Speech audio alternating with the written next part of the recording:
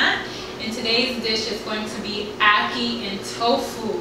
Ackee is a great staple food. It's very fulfilling and you can add tofu. You don't even have to add tofu in it but I like it like that. I'm going to show you how to make it. Let's talk about um, my outfit of the day. It is a one-piece romper. Spring is around, right around the corner guys so I'm getting ready for that. This one piece is very breezy and I got it for about 15 bucks. Um, I don't know where, but rompers are very in and it's very, it keeps you very cool. And I just paired it up with um, some nice wedges.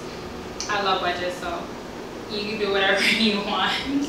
Head down when you see us on set. is royalty, don't you forget.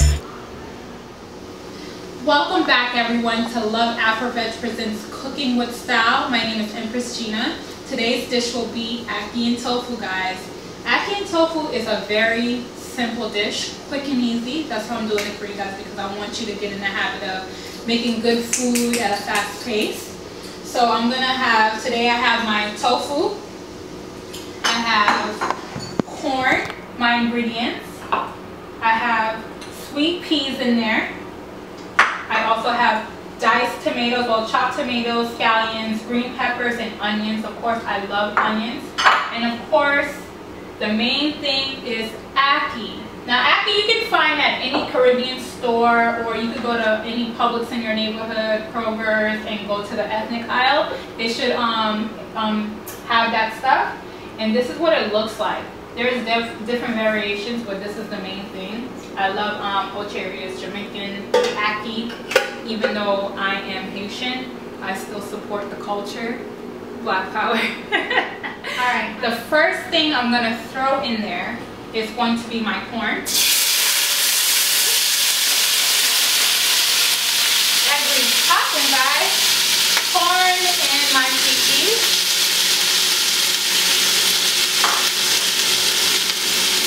Then I'm to add my tofu. Again, this is very quick and easy. Before you know it'll be done. And I forgot to tell you about Morton's Nature Seasoning. This is the only seasoning that I found that doesn't have any MSG. It still gives you all the flavors. Y'all should really cut me a check for this because I love this. Um, I love this seasoning. I'm going to sprinkle that right over. Alright.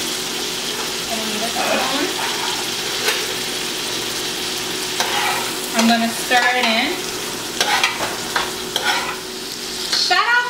Mango who's always watching my videos. I didn't forget about the macaroni and cheese. I really didn't. I just need to figure out a way to make it vegan and make it taste really, really good so you will blow your mind. But I got you. Thank you so much for supporting me. I appreciate you. And then also, guys, I want to let you know that I'm having a book coming out called Confessions of a Black Vegetarian.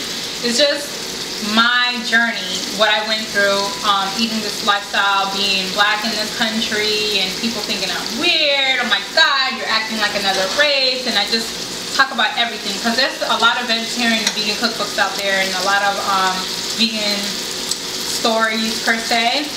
But nobody ever talks about like, you know, the process or what they went through or, you know, was just what it's like, what it's like being alienated from your friends and family. So that's what I talk about. So stay tuned for Confessions of a Black Vegetarian coming soon. Hopefully you support it. It's really good. Only because I wrote it. so I'm having that. 2015-16.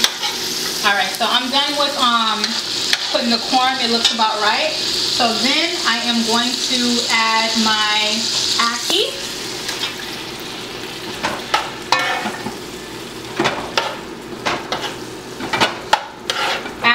again, great staple food.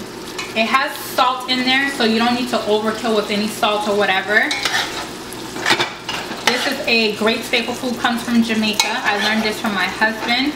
I know when we was growing up, my mom made ackee and saltfish and stuff like that because this Jamaican lady that she stayed right next to ate the stuff. So she brought it into our home and I'm so I'm used to it and it's really, really good. So people usually eat it with ackee and saltfish for breakfast, but I just put my own spin on it to make it good. Kind of look eggy, but I promise you, it tastes really good. And after, I am going to put my tomato sauce. I forgot to tell you guys. Tomato sauce. Kind of reduce the salt a little bit. You don't need to put the whole can. It just depends on how much people you're cooking for. So I'm stirring the pot, constantly stirring the pot. And next, I like to add my tomatoes, scallions, peppers, all that last because you know why? I still want to feel the nutrients in the food. I still want to have all the flavors. I still want to taste everything. I love vegetables. You don't want it to be overcooked and overkill, guys. So you pour that right in there. Continue to stir the pot. Look at my pot. I really feel like I'm back home like on sand or something. I don't know. You see, look at all the colors. I have red, I have yellow, I have green. Colors of Ethiopia. Oh my God. all right. And then I'm gonna add my half a cup of water. I didn't really add the whole thing, so maybe a quarter of that. And that just gives you the sauce and then I'm gonna go over the salt the nature own season have like black pepper salt garlic in here just a little bit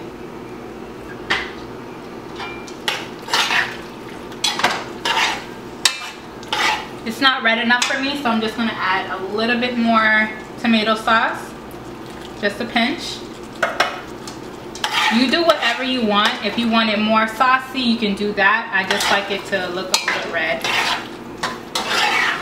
And I keep on stirring the pot as I go.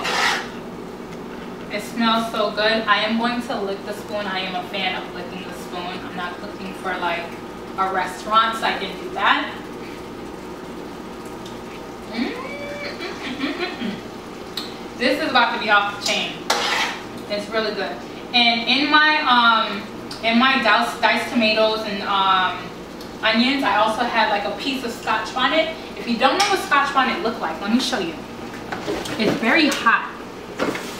But that's why you only need a piece of it. I just chopped up a piece and it, it's already overpowering my food, but it's not too bad where I can't eat it. It looks just like that and with thyme in there. So I'm gonna cover this pot. I'm gonna put my um, stove on low and then I'm gonna let it simmer for about 10 minutes after that, we'll be back with our main dish. I'm going to show you exactly what it looks like. You see how quick and easy that was, guys? You're going to be so happy after you make this for your family and for yourself. And I'll be back with my final presentation. Welcome back, everyone, to Love Afro-Veg Presents Cooking with Style. My name is Empress Gina. Today I cooked ackee and tofu. Like I said, it's a great staple food. I'm going to show you the final presentation and of course I'm going to taste it. So this is what it, this is what it looks like afterwards. You have the ackee and tofu right here. You see everything that we put inside the pot is mixed in really, really well. And of course you can eat it with rice and peas. I have plantains, fried plantains. My husband really loves plantains.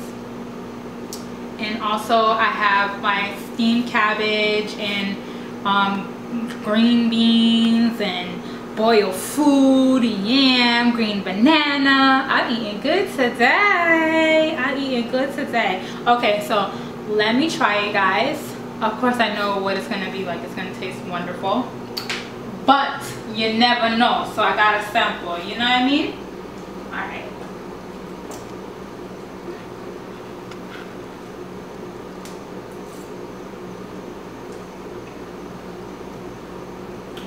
crunchy.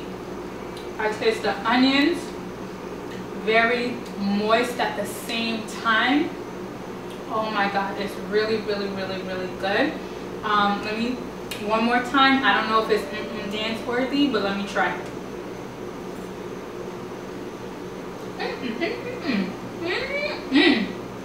I did my own dance, guys. Thank you again for joining me for another episode of Love AfroVeg Presents Cooking with Style. Stay tuned for my book, Confessions of a Black Vegetarian. Follow me on Instagram and Twitter. Also, I have a website called loveafroveg.com, daily blogs about vegan lifestyle, fashion, food, lifestyle, everything. Thank you so much once again. Bow your heads down when you see us on set. Honesty is royalty,